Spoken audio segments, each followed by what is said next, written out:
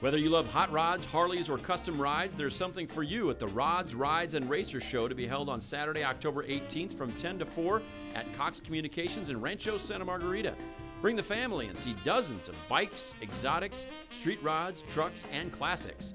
Event proceeds benefit the Habitat for Humanity's Homes for Heroes project. To exhibit your car or bike, visit cruisinforwishes.net or call 716 6297.